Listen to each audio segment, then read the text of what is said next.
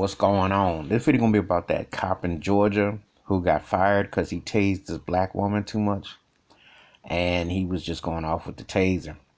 They were actually had a warrant out for her, but he went taser happy. So I was thinking to myself, I said, yeah, he got fired for tasing too much because he didn't shoot the gun.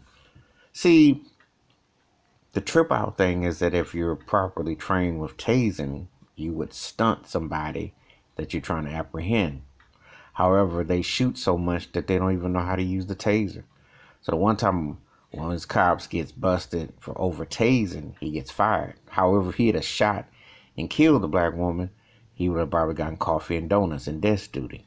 See, it's the the, the, the trip out mind blowing situation that occurs that what is seemed acceptable and deemed credible. And so I was tripping when I saw this whole thing. I'm like, wow, cop actually knew how to use the taser. Because nine times out of ten, they don't tase. They shoot first, kill, and then maybe answer questions, maybe not. All depends on jurisdiction or who wants to actually charge anything, you know. And that's real talk. Because if you had more tasing, you'd have less more deaths. You know.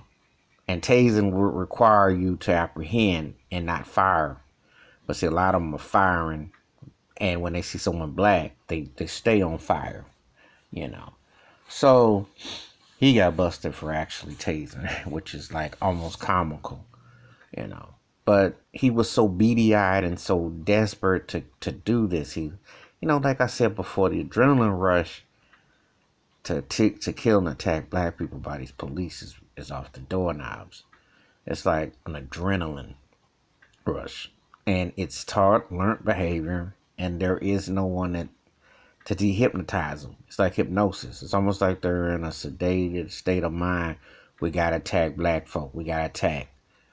And until you legislate or change your policies or instruct or something, you're going to always have that because they don't feel that they work for black folks. They feel that they're there to be slave catchers, the slave patrol. Look at us less than human, and that's what you see. But if we Warren Wortham had the taser, they'd actually be following correct procedure. Hmm, ain't that something? He gets fired for actually doing what most of them should do. Because most of them just shoot first and then never maybe ask questions, maybe not. But anyway, that's my thoughts and takes about the Georgia cop fired for tasing a black woman excessively. Give me your thoughts, your takes, hit the like and subscribe, and the bell rings a new video. Wash your hands, keep your mind clear, watch out for another. And, you know, it's amazing when this kind of thing happens, but he just happens to get caught at a particular time. That's the only reason why they're doing something. I'm out.